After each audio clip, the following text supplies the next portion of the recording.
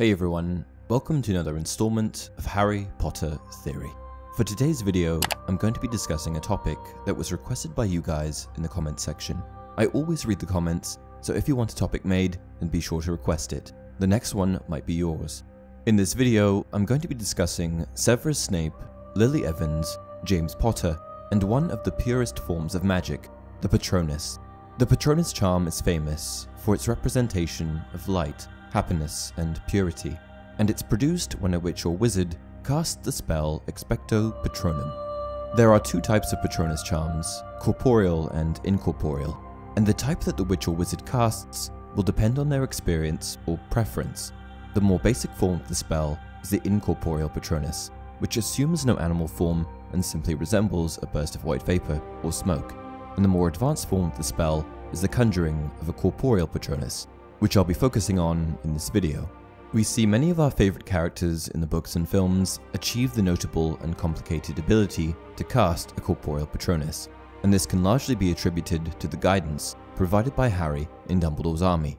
Along with those in Dumbledore's army, various other talented witches, wizards, and professors are also able to cast such a charm, Harry's parents included.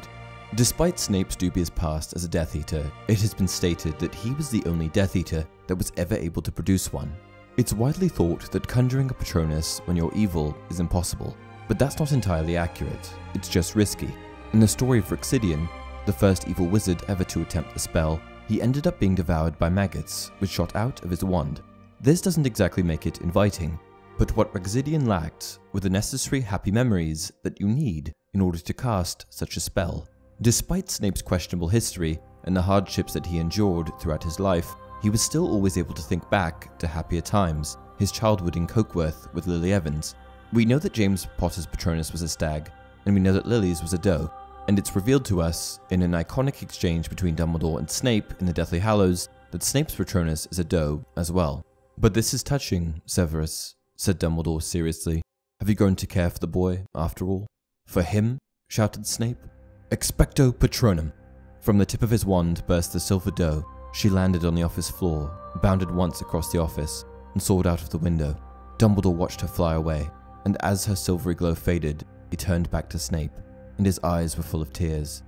After all this time? Always, said Snape. This scene depicts Dumbledore's genuine surprise at Snape's Patronus form, a doe, as he never understood the true level of commitment that Snape felt toward Lily. Dumbledore never suspected that Snape's motivations had changed, but when he says, after all this time, to Snape, it paints a clear picture of just how much Snape cared for Lily. Dumbledore knew that Lily Potter's Patronus was also a doe, and it's well known that when you well and truly love someone, that your Patronus can change to match theirs. The Patronus charm is a powerful piece of magic that expresses the true nature of the caster and can be influenced by significant events or people in one's life. You can't choose your Patronus or change it willfully, and the fact that Snape's Patronus was still a doe, matching Lily, after all that time, was representative of the fact that he truly loved Lily, and that his feelings for her hadn't weakened over the years. Lily Potter had been dead for 17 years, but his love for her was still strong. However, one thing that I'm sure a lot of you have been wondering is, what was Snape's Patronus before it changed to a doe? If the Patronus changes to match the one that you love, then I think that it would be reasonable to assume that Snape had another Patronus animal at one point or another, one that was independent from Lily. However, here's the thing. Snape always loved Lily, from the moment they met in childhood. They spent so much time together in their formative years in the town of Cokeworth and created such a bond that I think their Patronus forms were perhaps influenced by one another. It's untelling when your corporeal Patronus form is actually determined or assigned to a witch or wizard, but given that it is influenced by significant events or people, it's reasonable to assume that it's not a predefined thing. For this reason, I think that from the moment that Snape and Lily met, they were destined to have the same Patronus. Though there is a possibility that Snape had his own Patronus form, independent from Lily, before his changed, I personally believe that his Patronus was always a doe.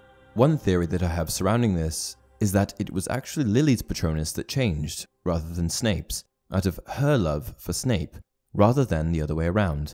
Though they went in very different directions later in life, they were very close for very many years, and there was certainly a point in time in which James Potter was not even remotely on Lily's radar. This opens up a whole other can of worms, but it's an interesting thought. So, if Snape's Patronus wasn't always a doe, If Snape had his own Patronus form at one point or another, what would it have been? I have a few theories for this. It's well known that the possibilities for what a Patronus can actually be are fairly endless, though magical creatures such as dragons, thestrals, and phoenixes are exceedingly rare. No reliable system for predicting the form of an individual's Patronus has ever been found, although the great 18th century researcher of charms, Professor Catullus Spangle, set forth certain principles that are widely accepted as true. The Patronus, asserted Spangle, represents that which is hidden, unknown but necessary within the personality. Here, says Spangle, is the explanation for the appearance of Patronuses in forms that their casters might not expect, for which they have never felt a particular affinity, or, in rare cases, even recognize. This doesn't exactly help us to narrow down what Snape's Patronus could have originally been, but if we dig deep into Snape's character and personality traits, I think that we can derive some options. One of the things about Snape that stands out to me most is his lifelong devotion to Lily, a kind of loyalty that would have been ingrained in his very persona. Based on this trait, there are a few animals that come to mind. Number 1. Turtle Dove. Turtle doves are common throughout Europe and have become a symbol of eternal love, notably featured in William Shakespeare's poems and as a pair in the Twelve Days of Christmas. Their mating for life has been the reason they've become associated with love, although their mournful voice also has influenced their place in culture. The turtle dove is also one of the animals that will remain alone if their mate dies. Number 2. Prairie Vole.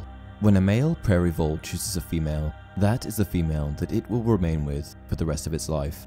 If the female dies, the male will not look for a new mate. Prairie voles are rarely seen because they live in underground burrows and are usually nocturnal. Rarely seen, lifelong commitment, underground burrow, sounds like Snape to me. Number 3. Black Vulture.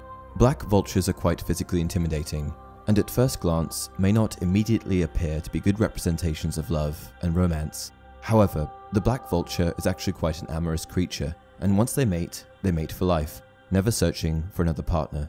I feel that the physical stature of the black vulture particularly resonates with Snape. Number 4. Swans.